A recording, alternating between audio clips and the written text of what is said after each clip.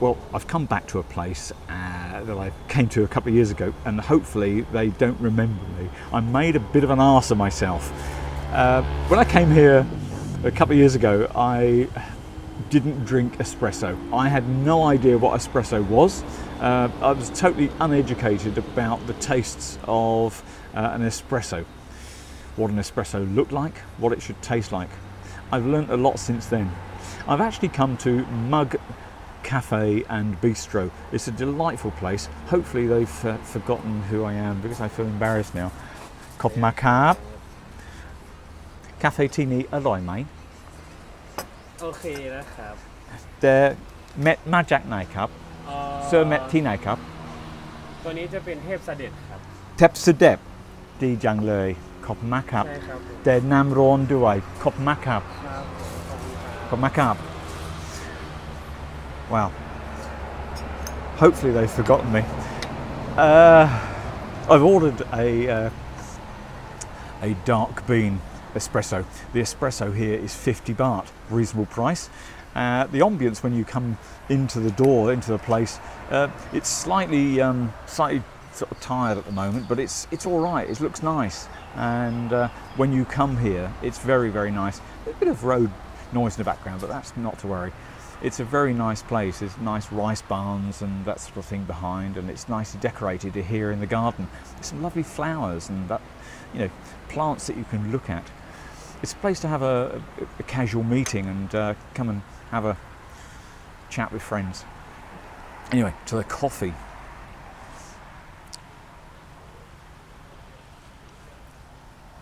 Now that is very nice. As the gentleman said who served me here, he said it came from Tepsudep, uh, and that is up beyond Mayon. Uh, the Tepsudep is uh, a mountain area where they sell, uh, sorry, grow uh, and sell uh, beans to many people here in Chiang Mai and you know afar. This coffee is delicious. Now, just let, let me show you this. This is called a crema, and for anybody that uh, doesn't drink uh, coffee or let, alone, alone uh, espresso, you've probably wondered what all the fuss is about with a crema. Well, the crema is in actual fact the result of the uh, the gases in the uh, coffee being released uh, during the extraction process, and it forms a head on the top. Uh, I'm going to really impress you now. Uh, uh, James Hoffmann said it was uh, actually named by an Italian guy, and uh, he, he was the guy that uh, you know invented the Gaggia. Gaggia. That's the brand of coffee machine. Anyway, I diverse. The the blue the big foot I put in. hmm. Well, the big mistake I made when I came here a couple of years ago was, I, I think I've told you this before. Uh, I used to try to drink latte, and I got fed up with having a moustache, and also fed up with the amount of foam on the top and very little coffee.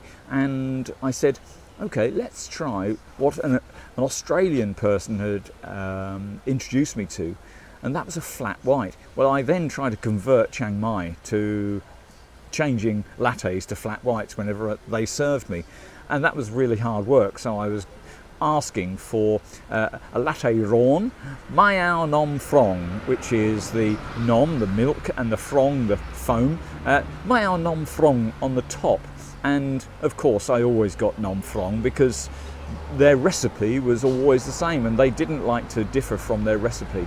I ended up with scooping that off on a regular basis just to see how much coffee there was below. Three quarters of a cup of coffee, and I, yeah, anyway, I had fun.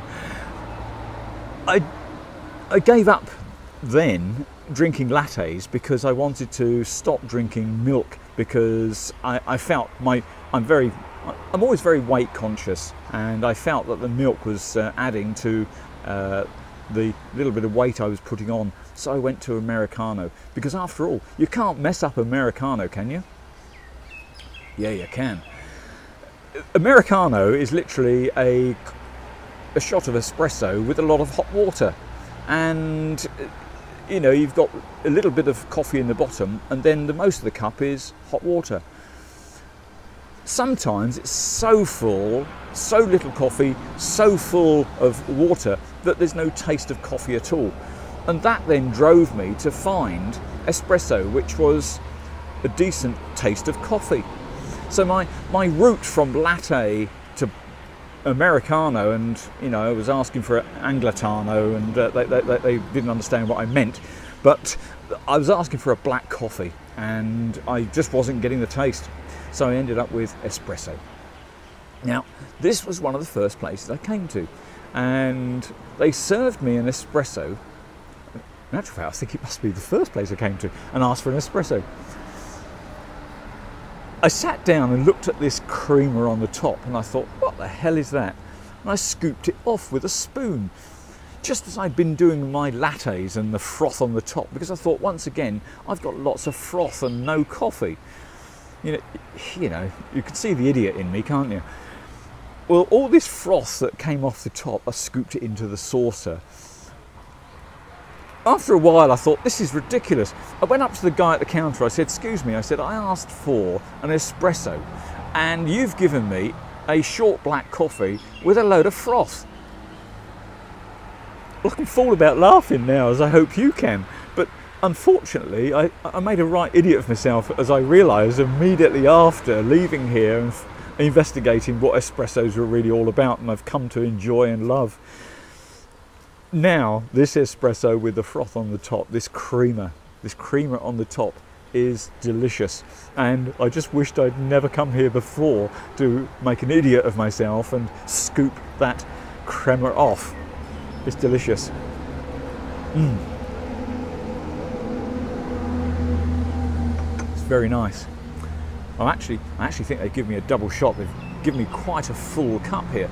It's very tasty. So the double shot that comes out. What happens in, a, in an espresso machine, you sometimes get the little things like this. Well, they put a big basket in and they fill it up with 18, 20 grams of coffee, and then they put two glasses, two glasses underneath each spout, a glass underneath each spout.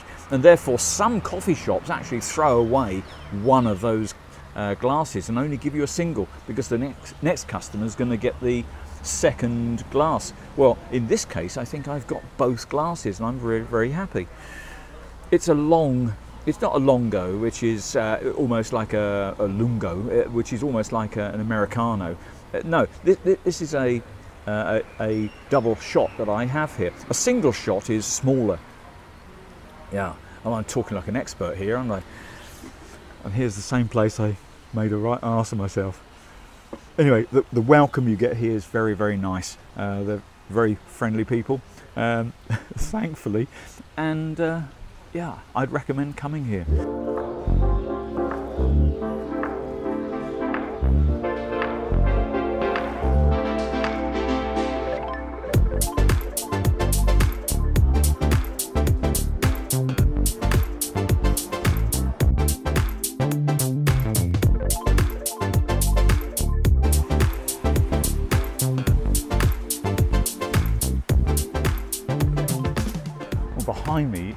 Is a fabulous rice barn.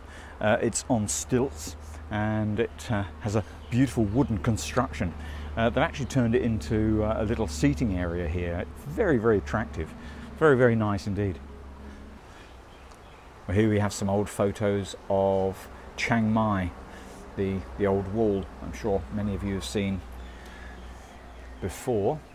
I actually belong to a, a Facebook group called um, Siam Memories. And if you get a chance, check it out. I'll leave a link below. Um, it's a group that publishes uh, images and stories of old Thailand. And you get a lot there about um, history throughout history, a, a long ago history, not just recent 20, 30 years of stuff that is obvious to us today. The wonderful photographs that, that uh, we see on this Facebook page are- are brought to us sometimes by family members who have got, you know, great great great grandfathers' uh, interest in the photograph. Um, it's wonderful because when I started doing my videos about history, uh, that I was lifting the corner of the carpet, just a little bit of the corner of the carpet, it feels, um, I was finding that there was so much to be found here uh, after you had dug down, dug down, dug down, that I that I was daunted by the, the passion that many people have. And I hope that if you were to go there and look at that Facebook page, uh, you too can appreciate their passion too. So, uh, as I say, I'll leave a link below to, to that uh, Facebook page. There's a bit of a, another bit of a funny here. Let me look.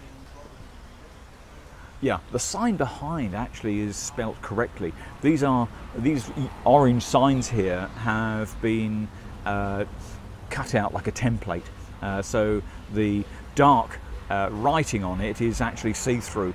Well, they've gone to a lot of trouble. It's not just a, a poster, you know. You can't just reprint it.